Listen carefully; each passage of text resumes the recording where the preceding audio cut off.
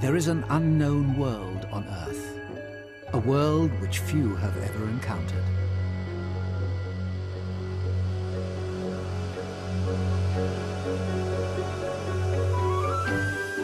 Human beings have conquered the highest mountains, explored and exploited the world's rainforests, and walked across miles of baking desert.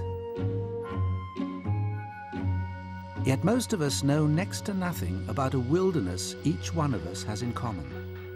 A landscape that contains all the variety of the continents and oceans on Earth. There is more wildlife here than in an African game park. Its forests provide food and shelter for a multitude of amazing creatures, each one making the most of this unique landscape. Here is a diverse assortment writers of science fiction might envy. Some have moved in beneath the surface, making the most of the warmth and safety of subterranean passageways.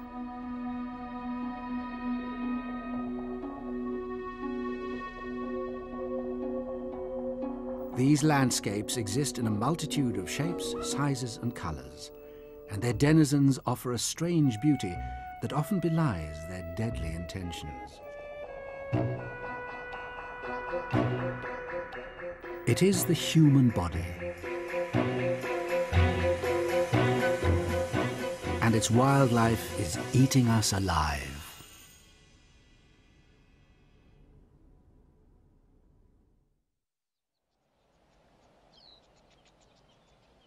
The Dogon region of Mali in West Africa, an area renowned for its rugged beauty.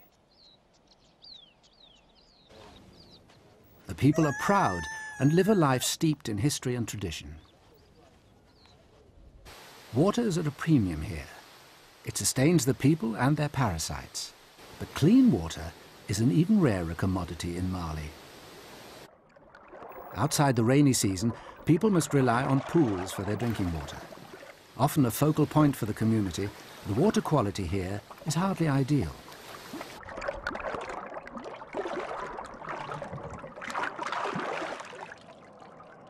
But it's perfect for water fleas.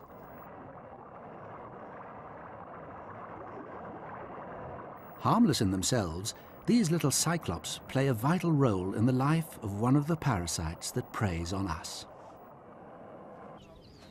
This parasite is the guinea worm.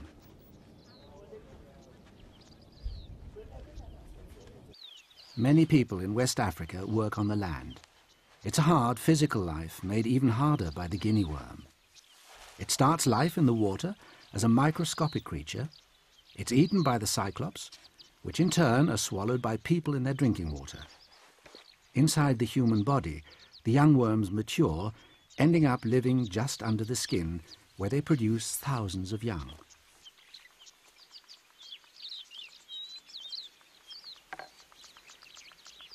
There is a flaw in its life cycle. The worm forms a blister on the victim's skin. When the foot enters water, the worm pushes through the blister to release its microscopic babies before retreating again. Pouring water over the blister fools the guinea worm into coming out. It can then be caught. For many years, people in Africa treated this infection themselves, but these days professional help is on hand. The mature guinea worm is the largest roundworm that lives in humans. Some females can grow to over a meter. They live for years and produce literally millions of offspring. Once the lower part of the worm is exposed, the rest can be teased out.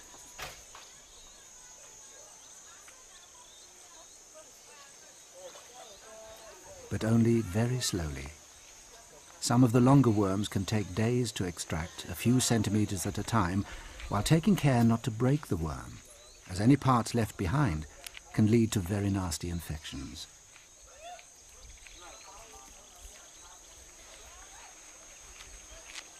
When a good length has been pulled out, and to make sure it can't escape back into the leg, the worm is wrapped around a stick. This keeps it secure and helps in pulling the rest out.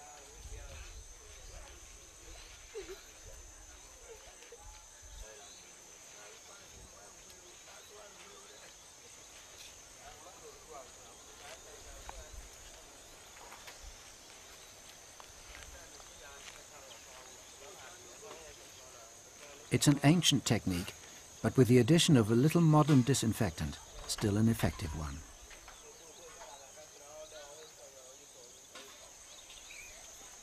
Removing a worm is no guarantee against further attacks, nor is it a cure for the inflammation and tissue damage already caused. In a few days, the dressing can be changed and a little more of the worm wound onto the stick.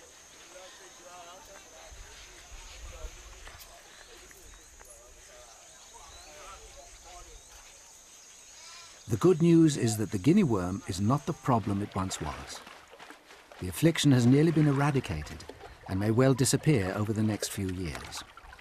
The most potent measure against the worm has been the use of these water filters the people make and use, which separate the cyclops from the drinking water, preventing further infection. A simple technique.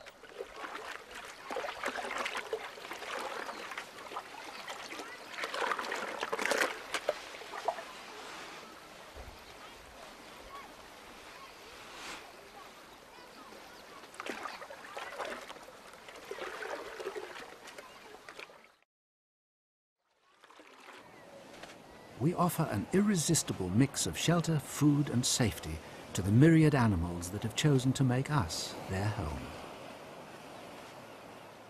Old and young, rich and poor, black and white, it really doesn't matter to our parasites. Some have chosen to live on the surface, in the human forest.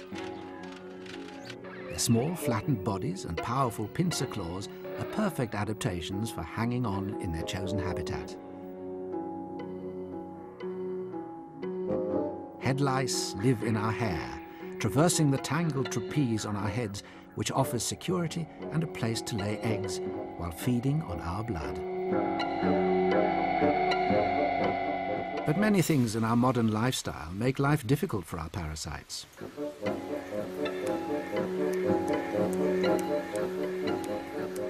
We go to considerable lengths to keep clean. But we assume that because we regularly take a shower or linger in hot baths, that parasites must be other people's problems. We pay special attention to our skin, especially the face. Making sure to keep it looking its best with aftershave, lipstick and eyeliner. Your face is probably the last place you'd expect to find a parasite. After all, you study it in detail every day.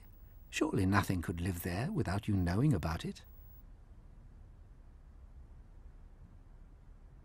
Look closely at the follicles, the canals from where your eyelashes grow. Look closer still, and you might see another face looking back at you. This is the follicle mite, they live in groups of nine or ten, males and females together, breeding and laying eggs right there under your eyelashes. Trying to get rid of them would cause more problems than the relatively harmless mites ever do. And don't think you could never have them. Nine out of ten of us do. However, not all parasites are as friendly as the follicle mite. One of them was responsible for the deaths of millions of people. It changed the course of European history as it spread the plague.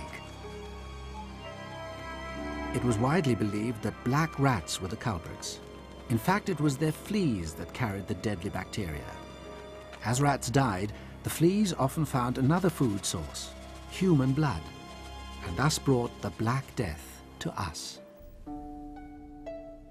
Fleas have fascinated people for centuries. Flea circuses were very popular during the 19th and early 20th century.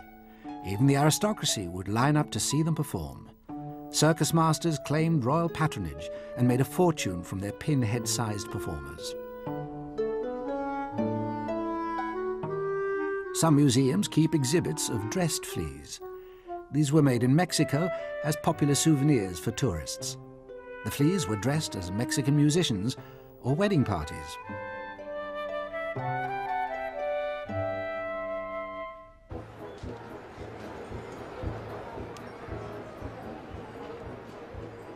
You can still find fleas at the Munich Beer Festival in Germany.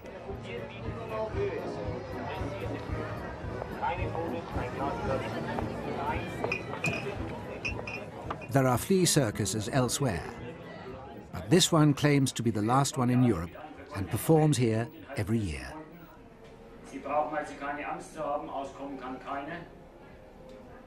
The fleas are tethered to thin strands of copper wire and perform much the same tricks as their ancestors did.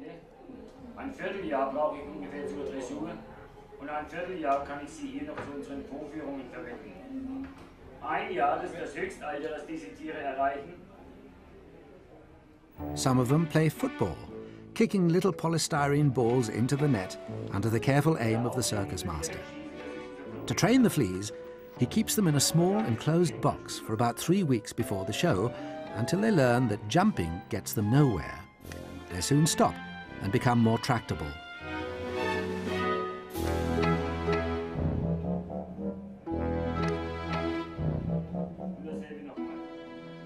The fleas also get a chance to demonstrate their strength by pulling carts and chariots. Some of these carts are a hundred years old and made of gold. They were crafted, especially for the purpose, by jewelers.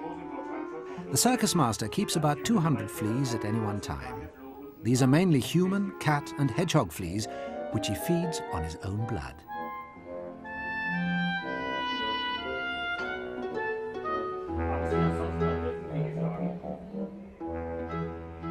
Fleas, with their flat bodies, can move easily between our hairs. They breathe through holes in their sides. Their hearts are in their backs, and they have the most elaborate sexual apparatus of any animal. They lay up to 13 eggs a day in our hair after feeding on blood. The eggs hatch after a few days into larvae, flea maggots, that feed on dead skin and debris, including some of the undigested blood excreted by their parents. They also thrive on our pets. A family cat or dog can be a haven for a whole host of fleas.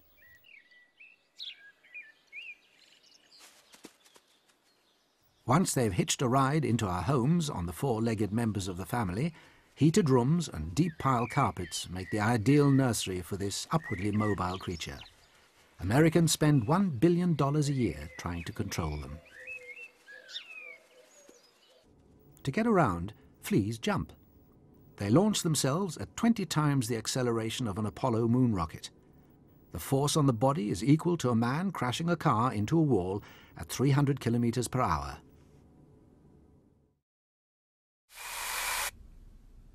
Nevertheless, however well adapted a parasite may be, life is fraught with danger. We humans have techniques that make a parasite's life difficult. But some of our tenants have come up with an answer to all that discomfort. They've moved in, literally, and live inside us. Life in the interior world of the human landscape can be very comfortable, if you can get there. The seething acid bath of the human stomach awaits any parasite that has managed to survive its journey past our cutting and crushing teeth.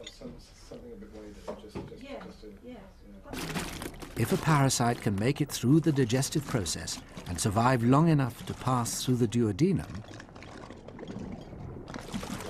then life gets a lot better as it enters the intestine, a convoluted channel where it will find all the food and shelter it desires. The parasite strategies for getting to this position of luxury are many and varied, but they work. Nearly every living thing on Earth has its parasites, even fish that live in the harsh saltwater environment of the sea.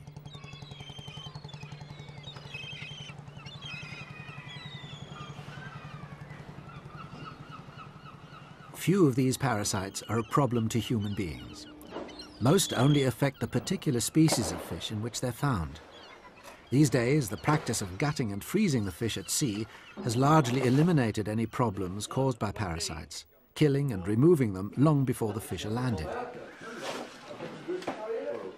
30, 40, 30, 40, 30, 40, 50, uh, 40, 4. Is that it? However, in recent years, traditional foods from various countries have spread around the world, offering people a new choice of meals and, in some cases, new problems.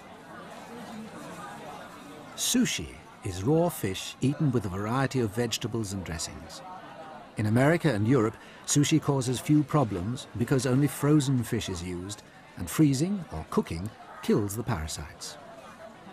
However, in some parts of the world, sushi is eaten using fresh fish that's not been frozen or treated in any way.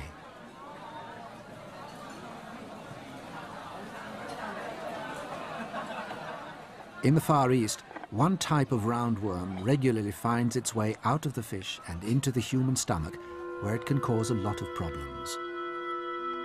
This is the Anisakis worm, a roundworm that lives in the muscles of fish.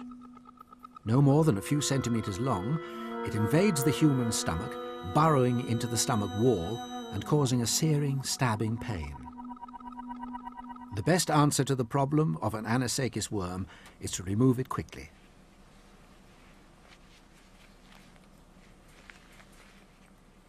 The endoscope reveals the intricate details of the esophagus, the tube that takes our food from our mouth to the stomach.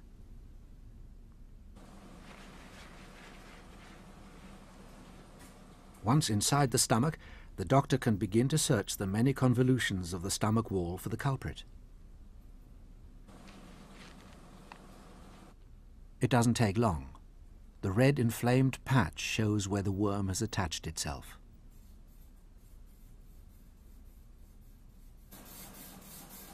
Careful manipulation of the forceps at the end of the endoscope soon removes the offending squatter.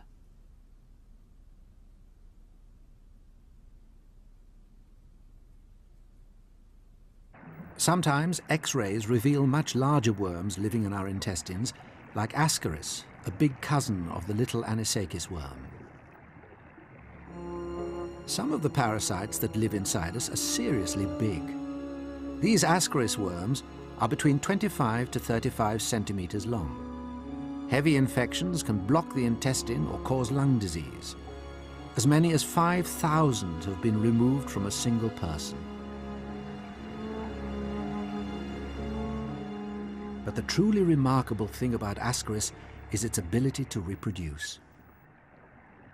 One Ascaris worm can produce up to 200,000 eggs every day of her adult life. That's about 26 million eggs in her lifetime. Laying large numbers of eggs or giving birth to a multitude of offspring are two options for ensuring survival of the species. Today, 25% of the world population is infected with Ascaris. In Europe and America, wherever dogs are used to work sheep, another kind of worm has claimed its territory.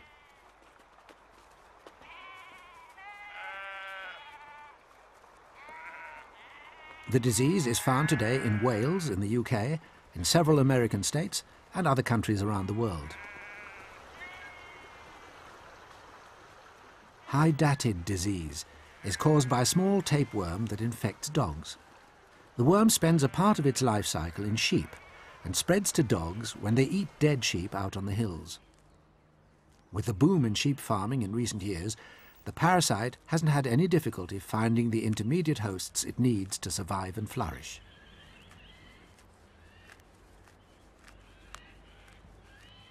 We get the disease from dogs that have picked up the worm.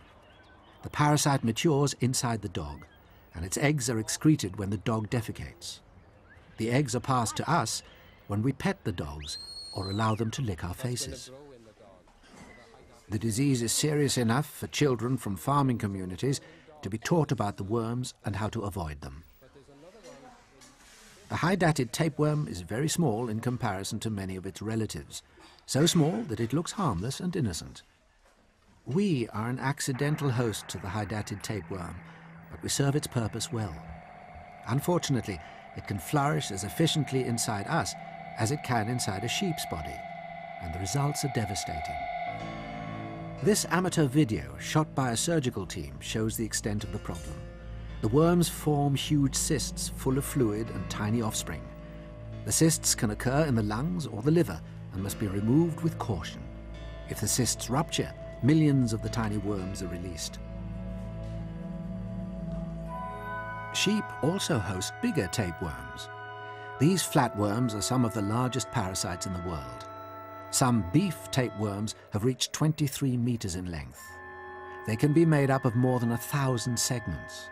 Each segment has its own male and female reproductive organs and can therefore self-fertilize the 80,000 eggs contained in each one.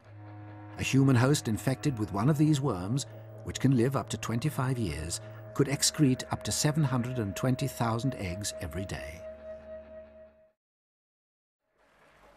The beauty of an animal's habitat is no guarantee against parasites.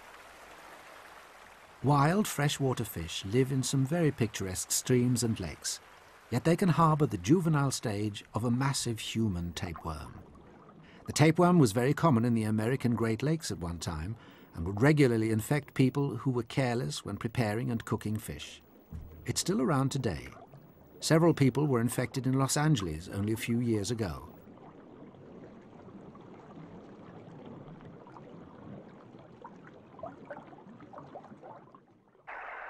Once inside a human host, the juvenile can double its length every day for two weeks.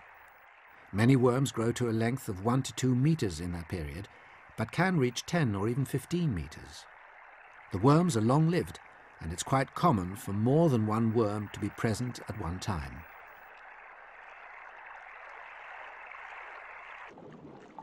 While the fish may seem quite unconcerned, those of us who enjoy catching our own supper should make very sure that it's well cooked before we eat it. Our domestic animals are often host to a very different kind of flatworm. They cost farmers a fortune and can cost us our health. This type of flatworm causes havoc to humans around the world. Flukes come in many shapes and sizes. Some, like this liver fluke, are very adaptable and have been found in the livers of nine different mammalian species, including humans. Most flukes live in the cavities and canals of our internal organs. However, one species has evolved to live in the blood attached to the veins in various parts of our bodies. The males and females live in a lifelong embrace and cause havoc out of all proportion to their size. This is schistosoma, which even today affects 200 million people around the world. The flukes are found in countries like Indonesia, Vietnam, West Africa and the Nile Delta. They're also common in the Philippines and many Caribbean islands. It's the sort of souvenir you don't want to bring back from your holidays.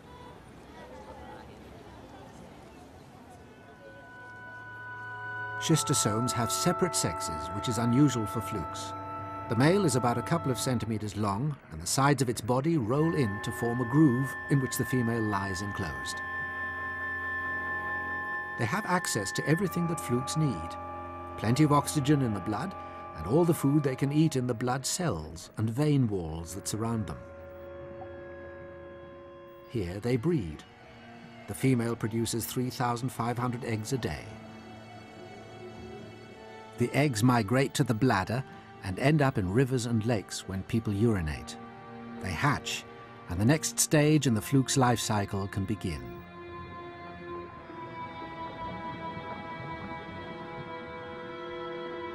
The immature fluke must now find a particular species of freshwater snail in which to develop into the next stage of its life cycle. The snails emit a chemical that attracts the young flukes.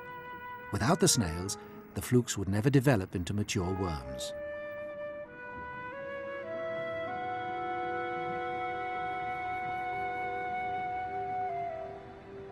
They burrow through the snail's skin.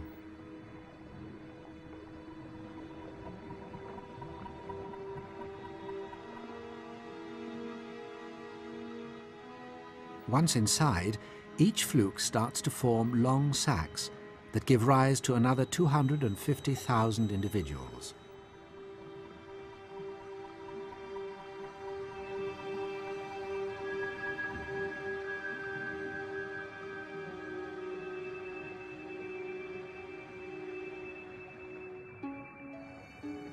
These individuals, now in the next stage of development, break out of the sack and burrow out of the snail in waves and into the water, where timing now becomes critical.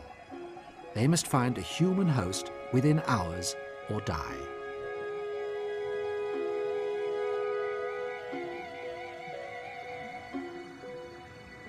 Any person coming into contact with the fluke during this time will be at risk. Fishermen, children playing, women washing, all are in danger of infection but not from swallowing the water. The juvenile flukes swim around frantically searching for their next host.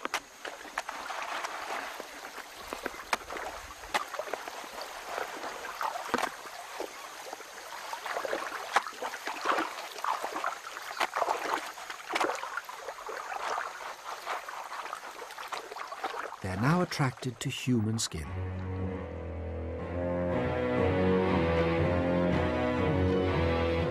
They release powerful chemicals that attack and dissolve it. After struggling through the tough outer layer, the tail is discarded.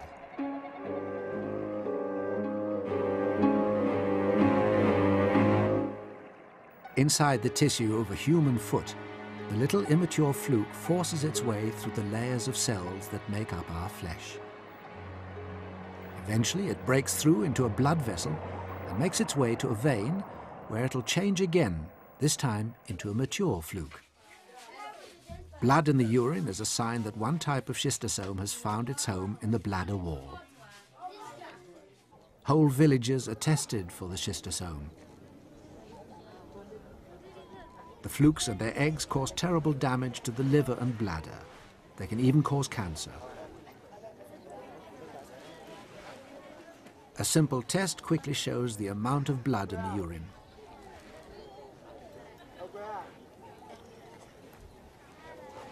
Each person is weighed in order to decide on an optimum dose of medicine.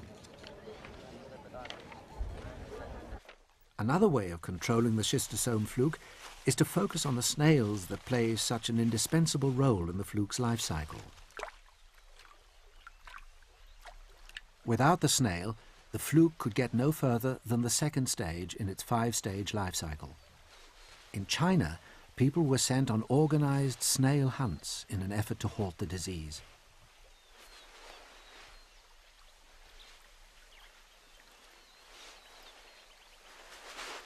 Another method involves spraying the waterways where they're found with a chemical deadly to the snails.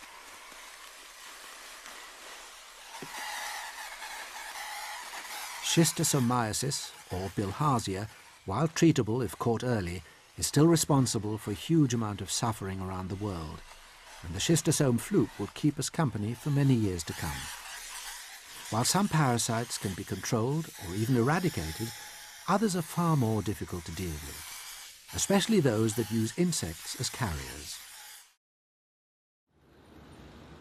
This is the new face of West Africa, Accra, capital of Ghana. New development and housing and a growing economy has improved people's standard of living and quality of life. Not surprisingly, parasites have also found a way to move into the modern metropolis. Mosquitoes are a preferred form of transport. They pick up our parasites from our blood and pass them on at a later date to new victims. Disease can spread quickly.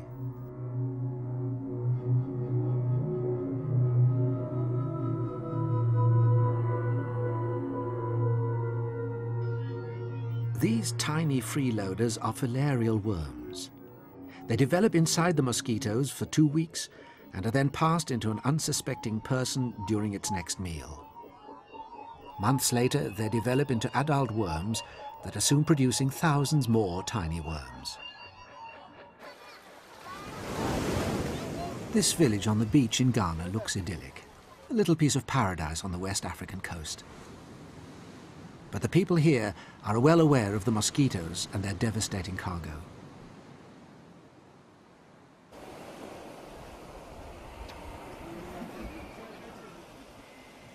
Yet they go about their business and daily lives in spite of the risks.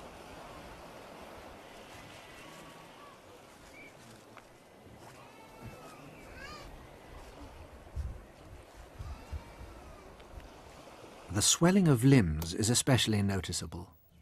The worms produce millions of microscopic young. Often as many as 23,000 can be found in every milliliter of blood. But the swelling is caused by the adult filarial worms blocking the vessels of the lymphatic system and causing fluid to collect. Eventually, the tissue in the limbs loses its natural elasticity and the condition becomes permanent, painful, and disfiguring.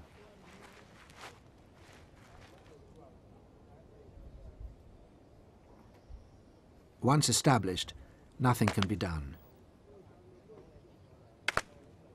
The disease, for obvious reasons, is called elephantiasis.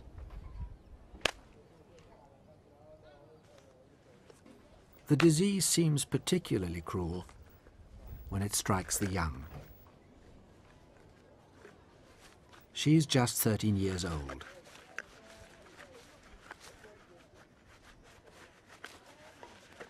She plays an active part in village life and attends school, but will probably never marry because of her condition. A serious setback for a girl in African society.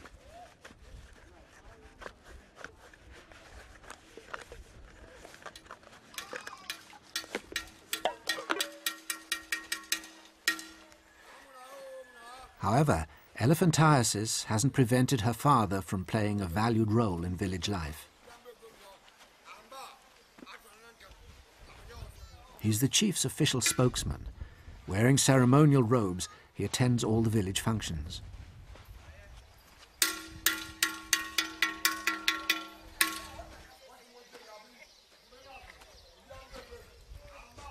The filarial worms can cause elephantiasis to occur in female breasts and the male scrotum, as well as the legs and arms. But those conditions can now be treated by surgery. While African society will always find a place for sufferers, the fight against the disease goes on.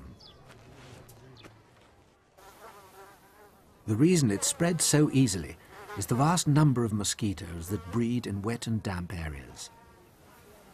Most of the villages have pools of surface water scattered around their boundaries. They provide the ideal conditions. It's impossible for people to avoid mosquitoes. They're everywhere and they have the perfect equipment for spreading disease. The head and biting mouth parts are like a rig drilling for blood. It's only the females that feed on blood, taking their fill quietly and efficiently. The males prefer fruit. But whereas elephantiasis disfigures unlucky individuals, there is a parasite that persecutes whole communities. They have the potential to drive people out of huge areas of land.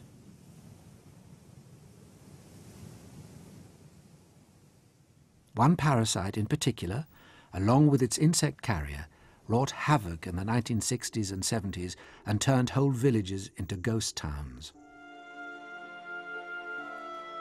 Victims were left disfigured, disabled and blind. The parasite is said to make young people look old and old people look like lizards. Men and women, blinded by the worm, are led to their work in the fields by their children. Such is the impact of river blindness. Unlike the mosquito that relies on pools of water, the black fly that spreads river blindness needs fast-flowing rivers and streams. Larvae cling to the rocks, filtering food from the water.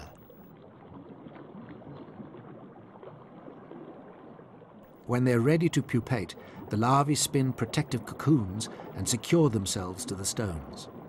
They will develop inside their silken sanctuaries and soon emerge to play their part in passing on the parasite.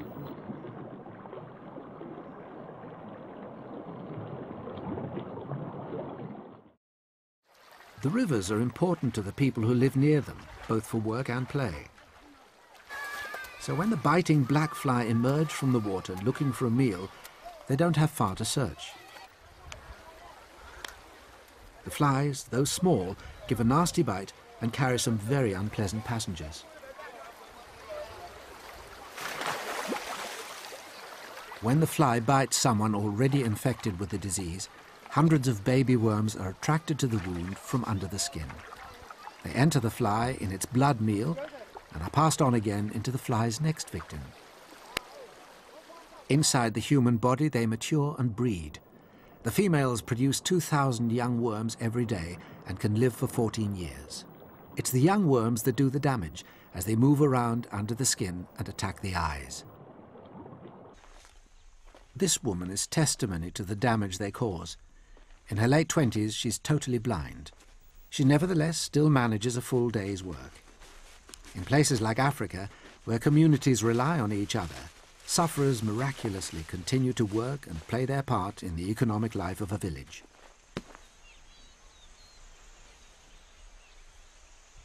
Prayer is an important part of life in Ghana. It takes a lot of faith to work in the bush every day under the curse of the disease. She's learned to recognize her crops by touch and works tirelessly to provide for herself and her family.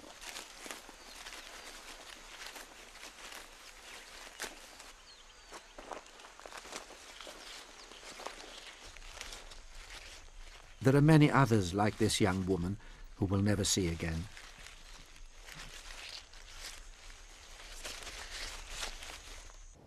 Some of the older people who've been blind for many years still do their best to make a living.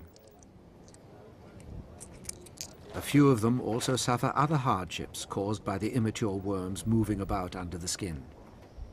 The body develops an allergic reaction, causing terrible itching. The skin becomes thick and scaly, almost reptilian, and in some parts of the body may hang uselessly.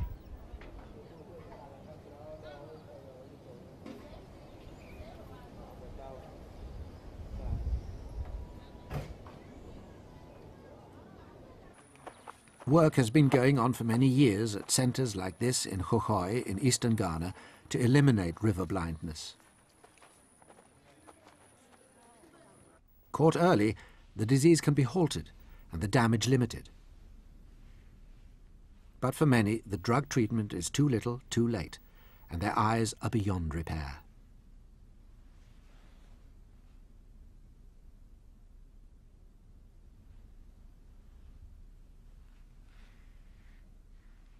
In this particular case, there is no sensitivity to light at all.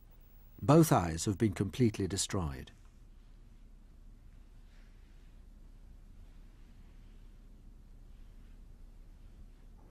Another approach is to remove the worms promptly from the body.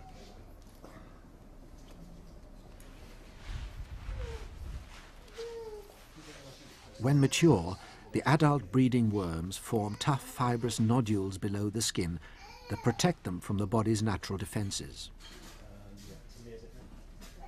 The surgical removal of these nodules is a fairly straightforward procedure performed under local anaesthetic.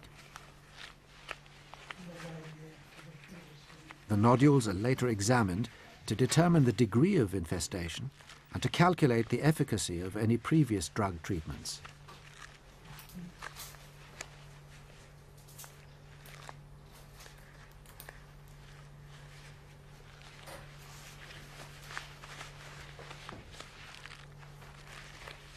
The nodules are surprisingly tough and difficult to remove.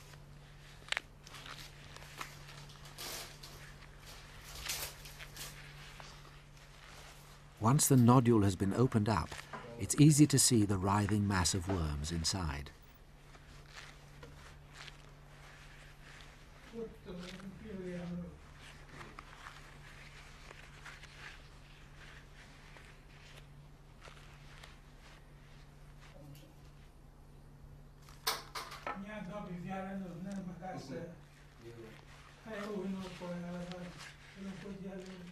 Battle against river blindness is being fought very successfully.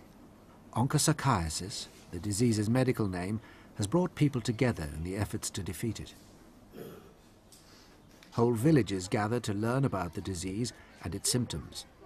The vital early treatment can then be initiated.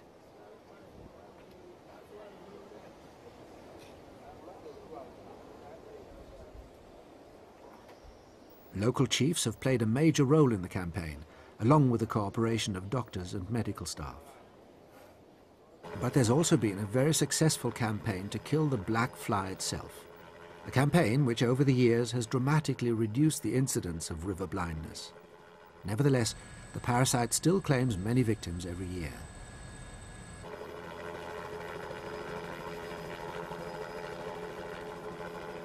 Air traffic has been a boon to parasites. Our ever-growing appetite for foreign travel is putting many more of us on the parasites menu. Each year, millions of us travel from countries like the United States and Western Europe to the hotspots in search of some fun, relaxation, or business. The truth is that we may pick up a lot more than just a suntan. Parasites are not choosy when it comes to human hosts, and you or I make as good a home for them as anyone in Africa or the tropics. Nor will even the keenest customs officer notice them. Specialist centres like those in London and Atlanta investigate hundreds of cases each year of travellers who've returned with an unexpected and unwanted souvenir. The expertise of their specialist medical staff is called upon to identify the stowaways. Without their expert knowledge, it would be impossible to decide on the best method of dealing with them.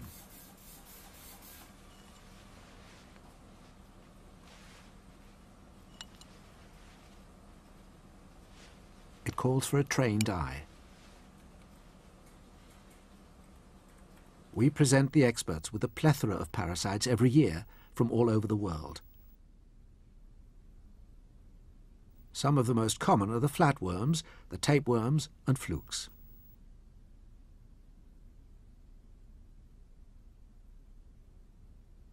The big roundworms, too, are keen to form attachments with travellers. Fortunately, medical services in the more developed countries can deal with most of these problems. There is a parasite, once common in Britain, and only recently eradicated from the United States, that still flourishes dangerously in other parts of the world. It can sometimes be contracted at airports when the mosquito that carries it flies in with returning holidaymakers or visitors from abroad. And if world temperatures continue to rise, it could find itself settling in somewhere near you. Mosquitoes spread a range of diseases as they feed on our blood excreting what they don't need. The combination of mosquito and single-celled parasites is responsible for one of the most deadly diseases on our planet.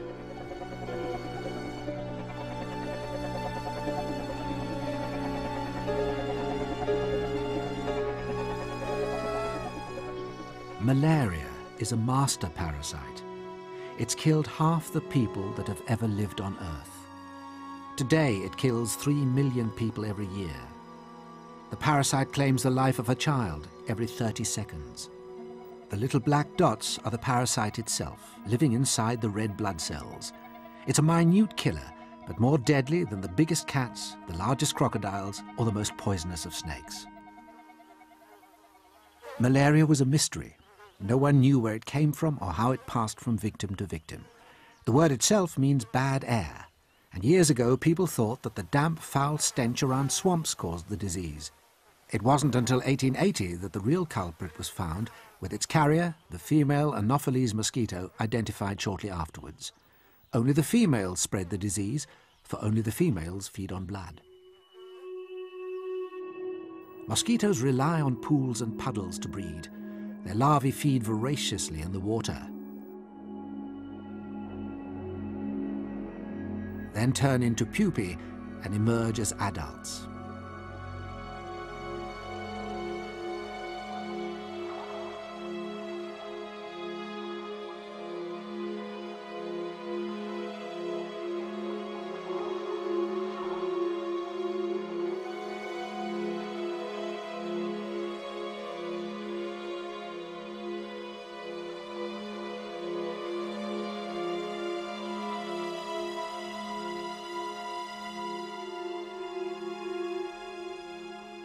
One small pool can harbour thousands of mosquitoes.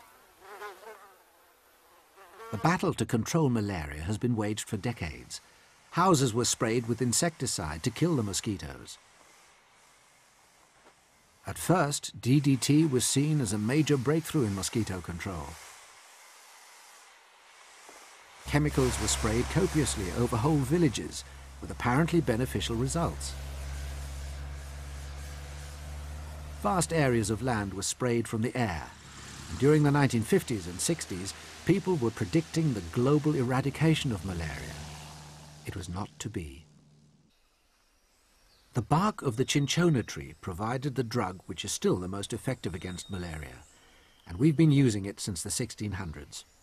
It was called Jesuit powder after the people who brought it to Europe from South America. The substance is now known as quinine. By the 1920s, a synthetic form of quinine was being mass-produced. During World War II, a new drug appeared. It turned the skin yellow and caused temporary insanity, but that was still better than dying slowly of malaria. Then a wonder drug was discovered, chloroquine, the one the world had been waiting for. It saved countless millions of lives, but before long it became ineffective against the worst forms of malaria. The drug had been used too often, and some of the malaria parasites had survived it. They passed their immunity on to subsequent generations. Many of the victims are young children from areas of the world where drug-resistant strains of malaria pose a real danger.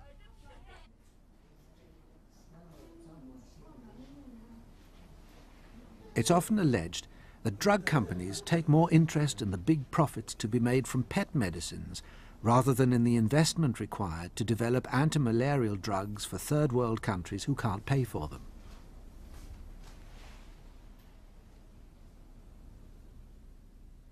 But that situation is changing.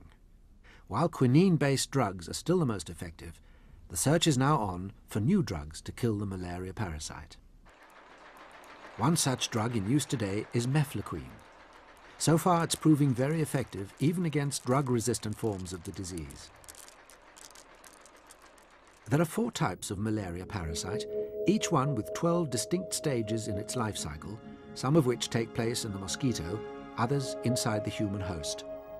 Once there, they move from the blood to the liver. Then after a few days, they enter into our red blood cells. Eventually, they mature they break out again in waves, causing the familiar malarial tremors. At present, the best hope for progress lies in a 2,000-year-old Chinese remedy. Well known for their traditional approach to medicine, the Chinese have been producing a drug from a very common plant. Qinghaosu is effective against malaria in combination with other drugs, but the synthetic form isn't yet widely available. The race is on to find not only new ways to treat malaria, but also for a vaccine against the disease, the holy grail of malaria research. The hope is that the next generation may live in a world without malaria. But the parasites are ingenious, highly adaptive creatures that will do their best to stay one step ahead of our efforts.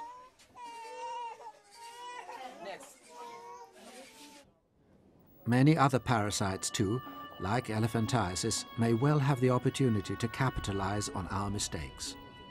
As the Earth's climate gets warmer and we travel ever further and faster, the world for us and our parasites is getting smaller. Diseases like river blindness are responding well to control measures.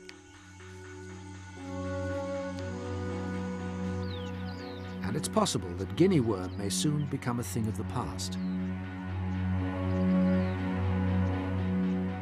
But other parasites are never far away. Unseen by us, they're on our pets, in our carpets, in our mattresses, and in us.